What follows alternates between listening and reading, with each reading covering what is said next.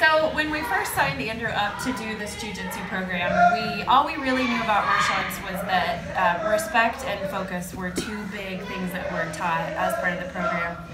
So what I didn't realize what that is that this specific program goes way beyond just teaching about respect and focus. Um, what I'm talking about is they have mat time, which is the first five minutes of every class.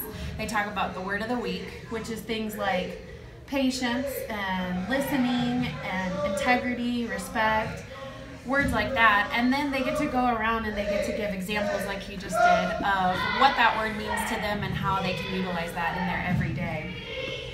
And I thought that was cool um, to do that, but I really didn't realize the impact of it until we were in this for a couple of weeks.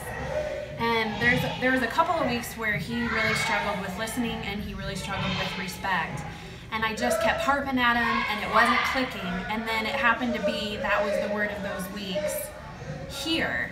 And so then when I was able to bring up, well, at jujitsu, Professor Tom taught you about this, he instantly recalled it and gave examples and he made that connection and we didn't have any problems with it for the rest of the week.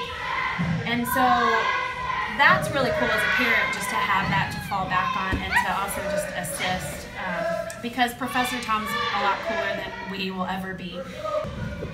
The other thing that I really like is that for each word of the week we get a worksheet. And I have created a file now of those worksheets. And if we're struggling with something specifically, I can bring that worksheet out and say, well, remember Professor Tom taught you this.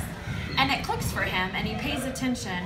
And what I also like about this program and this mat time is I feel like Krista and Professor Tom are kind of my co-parents. I feel like they really take the pressure off me as a parent because my kid is here two days a week with these people who love them, care about them, and have devoted their life to investing in teaching these kids these foundation and you know really doing what they know they need to do to help them to be um, respectful people that contribute to society as adults and so I'm very thankful for that, and um, I hope this is something that he continues to do for a long time.